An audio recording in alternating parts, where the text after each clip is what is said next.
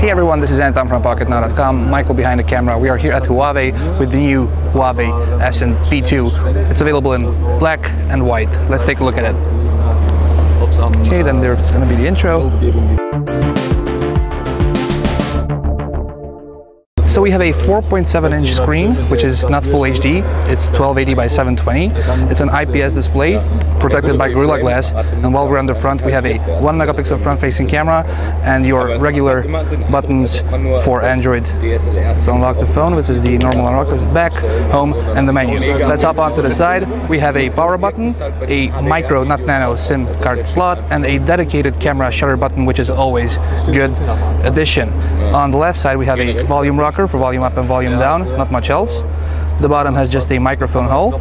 And on the top, there's your 3.5 millimeter headphone jack plus a micro USB and an additional microphone for noise cancellation.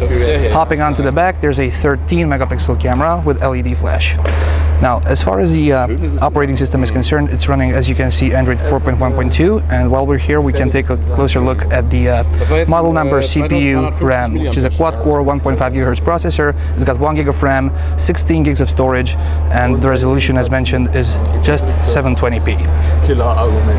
So running on top of Android 4.1.2, it's Emotion UI 1.6, and it's pretty fluid at this moment. And if you pinch the zoom, you have access to a total number of nine home screens, which you can, of course, remove to your heart's content and add back. Hopping back right here, we have also customized settings. We have a general tab, which is basically a shortcut for your main settings, and the old tab where you can find all the, the settings for your phone with the custom colored icons. So this was a brief, brief look at the uh, Ascend P2. This was Anton from Pocket Now, Michael behind the camera. Stay tuned for more coverage. Thank you very much for watching.